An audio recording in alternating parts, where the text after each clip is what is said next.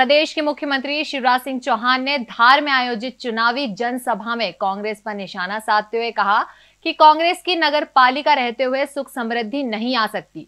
चौहान ने पूर्व मुख्यमंत्री कमलनाथ पर तंज कसते हुए भी कहा कि कमलनाथ जी, आप तो जनता से माफ़ी मांगने का अभियान शुरू करो। धार में जनसभा को संबोधित करते हुए सीएम शिवराज ने कहा कि कांग्रेस की नगर पालिका रहते हुए सुख समृद्धि नहीं आ सकती। पिछली बार कांग्रेस की नगर पालिका बनी, ये सड़क जिस पर मैं आया, मुझे जानकारी मिली कि खराब है। हमने डेढ़ करोड़ रुपए भेजे थे, लेकिन आज तक यह पूरी नहीं हुई। आजकल कमलनाथ जी रोज ट्वीट करते हैं, आपकी बार आया तो बेरोजगारी भत्ता दूँगा, कर्ज माफ़ कर दूँगा, छात्रवृत्ति दूँगा।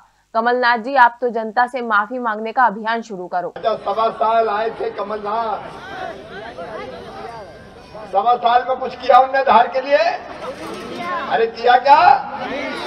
सवा साल वो आए थे, आजकल वो रोज ट्वीट करते हैं, ट्वीट। कभी कहते हैं बच्चों को सीधे नौकरी दे दूँगा। कभी कहते हैं पूरा किसानों का कर्जा माफ़ कर दूँगा। अब मैं ये पूछना चाहता हूँ, कमलनाथ, आप ये तो बता दो, सवा साल में आपने क्यों नहीं किया? सवा साल सरकार चलाते आजकल कांग्रेस कह रही हाथ जोड़ो कार्यक्रम।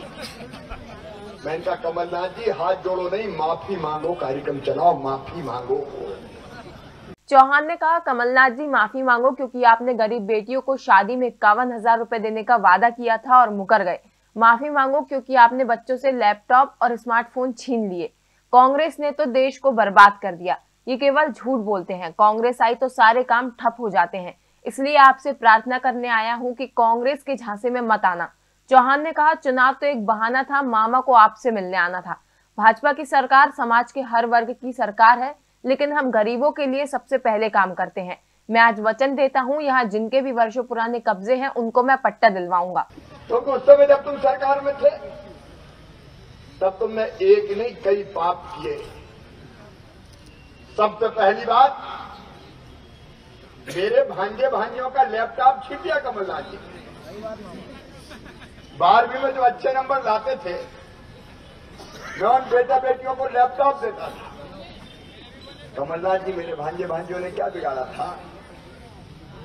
लैपटॉप की योजना बंद। मेधावी विद्यार्थी योजना हमने चलाई। मेधावी विद्यार्थी योजना में हम पढ़ने में तेज विद्यार्थी, उनकी फ़ीस भरवाया करते थे। उनकी फ़ीस भरवाना बंद कर दी। माफ़ी मांगो कांग्रेसियों। सभा में सीएम शिवराज ने कहा, मैं माफ़ी चाहता हूँ, मुझे यहाँ तीन बजे आना था। मेरी गलती नहीं है। हेलीकॉप्टर ही उड़ने के बाद डगमगाने लगा। मैंने भी तय किया है कि हम धार तो जाएँगे ही। मैं आप सभी को प्रणाम करता हूँ। सीएम ने कहा, अभी इंदौर में जीआईएस में 15 लाख करोड़ रुपए से ज़्यादा का निवेश करने का वचन उद्योगपति देकर गए हैं। इससे 29 लाख लोगों को रोज़गार मिलेगा। सरकारी भर्ती चालू है। विकास की गंगा बह रही है। मैं धार की जनता को कहना चाहता हूँ कि यहाँ मेडिकल कॉलेज खोला जाएगा। आसपास नर्मदा मैया का पानी आ रहा है धार में भी आना चाहिए। अब यह अभियान प्रारंभ किया जाएगा। वो खबरें जो आपके काम की है। वो खबरें जो आपके लिए ज़रूरी है। हर आम और खास से जुड़े मसले। हर मसले का सटीक विश्लेषण। हम करते हैं सत्य का अन्वेषण। दखल न्यूज़। आपके हक में आप देख रहे हैं दखल न्यूज़